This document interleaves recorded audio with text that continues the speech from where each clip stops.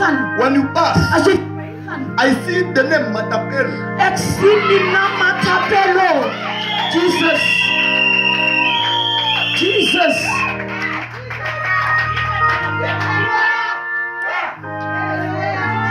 Chineke.